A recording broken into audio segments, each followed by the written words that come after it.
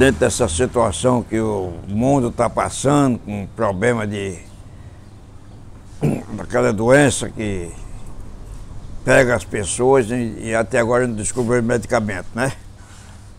Eu espero que vai aparecer medicamento para elas depois. O que nós temos que fazer é nós ter paciência, ficar um dia sem beber vegetal, menos a gente descansa a memória, que tem muita gente na União bom de descansar, precisando descansar a memória. Se a gente puder passar um mês, a gente passa, se for preciso passar dois, a gente passa, se for preciso passar três, a gente passa, depende do tempo que for preciso. Que nós temos que, que obedecer às leis do país, que é a nossa lei também, e obedecer às leis da União. Aquilo que a gente está pedindo, aquilo que a Direção-Geral da União está pedindo para a gente fazer não poder se, não reunir essa época de que, que nós estamos, que é para evitar de, de, chegar alguém na nossa porta, batendo na nossa porta, para chamar a atenção porque nós estamos reunidos. Por isso nós temos que ter paciência e se conformar, até nós poder estar tá liberto para beber vegetal, liberto para se reunir, porque liberto para beber vegetal nós estamos, nós não estamos com muita liberdade para se reunir, porque Está escado ser chamado de atenção.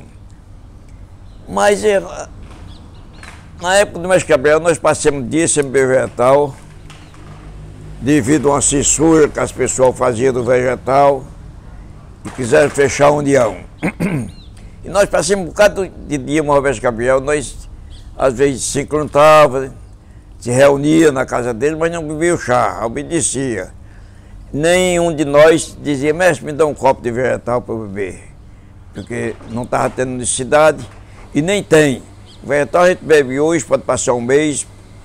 O vegetal, na realidade, é para a gente beber no primeiro e terceiro sábado, porque é pra, com 15 dias nós estamos tá com a memória descansada, para poder nós entender e compreender os ensinos da União.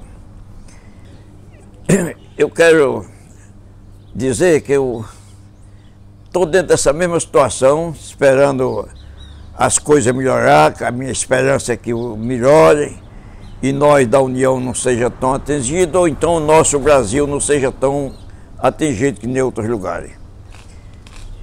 Por isso eu peço, peço não, por isso que eu lembro aos meus irmãos que a coisa melhor que tem é nós render obediência às leis e se tornar cumpridor dessas leis, que é para poder nós encontrar o nosso objetivo que é a evolução espiritual, nós encontramos começando pela obediência. Nós se tornando pessoas mais obedientes, nós procurando entender, compreender quem é esse mestre Gabriel, o que, que significa esse vegetal que eu estou bebendo, esse chá misterioso, que vem de Iuasca e Tiuaco, e com essa. E com esses mistérios que o o mestre Salomão desvendou de Iuasca e Tiuaco essa ciência da união do vegetal que nós vivemos nela, nós temos que passar a ter convicção. O que, que significa essa ciência? O que, que significa essa ciência espiritual, que é o nosso sentido, um dia encontrar aquele grande objetivo que todo mundo fala na salvação. E essa salvação nossa, nós é que temos que fazer com a nossa prática, com a nossa boa vivência, com a nossa forma de viver no meio do povo, como eu posso chamar meu irmão a atenção ou minha irmã, com educação. Como é que eu posso ser um dirigente da União do Vegetal? Cumprindo os mandamentos da lei do mestre. Começar daquele pequeno, daquele grande ensinamento que muita gente esqueceu dele e pouca gente conhece. Amar o próximo a ti mesmo, ensinamento do mestre Jesus. Amar o próximo a ti mesmo. Nós amando o próximo a nós mesmos, nós encontramos a facilidade de se evoluir, encontramos a facilidade de dirigir a nossa família, nós encontramos a facilidade de plantar dentro do nosso coração a semente da paz, a semente do amor, que é para nós ter amor todo momento que nós precisar.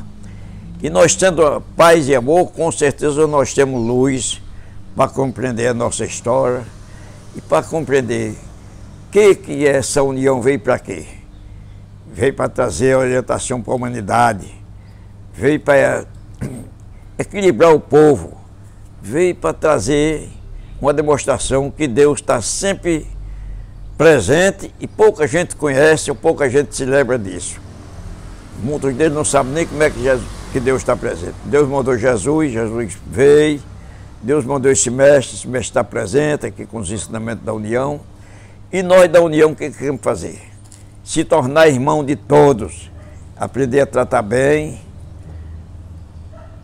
aprender a compreender como é que eu posso viver sem embaraço na minha vida. Eu só vivo sem embaraço na minha vida, e principalmente dentro da União, se eu quiser.